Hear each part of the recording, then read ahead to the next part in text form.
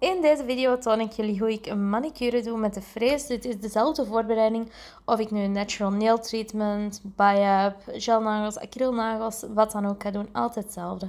Ik start met het achteruitduwen van de nagelriemen, zodat deze los zitten. Dan voel ik ook meteen hoe dat de huid is en heb ik meer ruimte om te werken. Vervolgens ga ik de nagels in vorm veilen. Dit is een natural nail treatment op eigen lengte.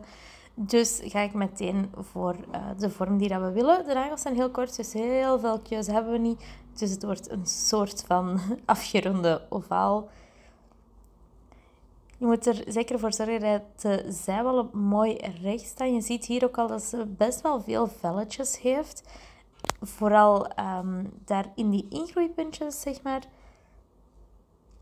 Dat is een soort van eeltvorming door te werken met de nagels. Maar geen enkel probleem, dat gaan we zo meteen weghalen. De volgende stap is het mat maken van de natuurlijke nagel. Dat doe ik met een schuurrolletje van 180 grit of soft, dat is hetzelfde, op 3 à 4000 euro. Dit mag geen pijn doen, dit gaat ook de nagel niet beschadigen, want we gaan hiermee maar een 2% ongeveer van de nagelplaat weghalen. Mocht de klant hierna toch niet meer willen verder gaan, aan het einde van de dag is... Um, die nagel terug volledig glanzend. Het is enkel een soort olie- en vetlaagje dat we weghalen voor een optimale hechting. En dan gaan we met onze freesbits aan de slag. Dit is een flamebit uit mijn eigen polished lijn. We gaan beginnen met onze frees op uh, forward te zetten in het geval dat je rechtshandig bent. Ben je linkshandig, dan doe je alles omgekeerd. We zetten ons bit ergens tussen de 10 en de 15.000 toeren, waar jij het comfortabelst mee werkt. En ik start net iets voorbij de helft van de nagelriem dan ga ik naar links en ik leg mijn bit plat in de zijwal. En daar ga ik dan ook op de huid meteen mee de um, velletjes gaan wegpolijsten. Je kan ook gaan knippen, je kan polijsten met een bit.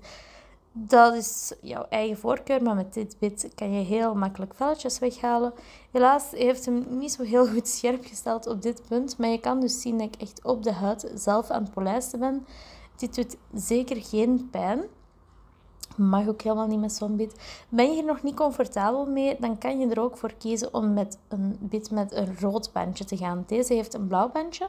Dat betekent dat die korreltjes dat erop zitten medium zijn van grofte. Er is dus ook rood, dat is wat zachter. Duurt soms iets langer, maar als je nog niet helemaal comfortabel bent met deze techniek, dan is dat een uitstekende manier om te starten. De freesbitjes zijn trouwens 9,95 euro per stuk. Vervolgens gaan we de frees omdraaien. Die staat nu op reversed. En dan gaan we dus eigenlijk hetzelfde doen.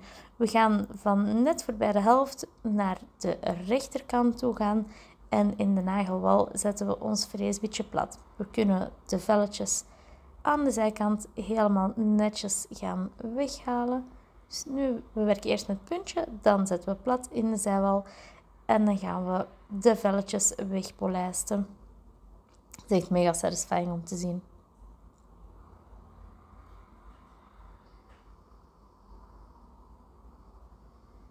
Ik blijf constant bewegen, want anders kan het beetje wel warmer worden. Dat is normaal, dat is wrijving. Het staat nog steeds op reversed en dan gaan we op de nagelriem zelf gaan werken. Dus hiermee raken we de nagelplaat niet. En we gaan de nagelriem zeg maar gaan openzetten. Op die manier kunnen we eventueel veel makkelijker nog gaan wegknippen. Dat doen we dan met een tangetje en dan kunnen we veel makkelijker zien wat nog levende huid is en wat dode huid is. En op die manier kunnen we heel eenvoudig een manicure doen met een freesbit, waarbij je dus maar één beetje nodig hebt. En afgewerkt zien die nagels er dan zo uit.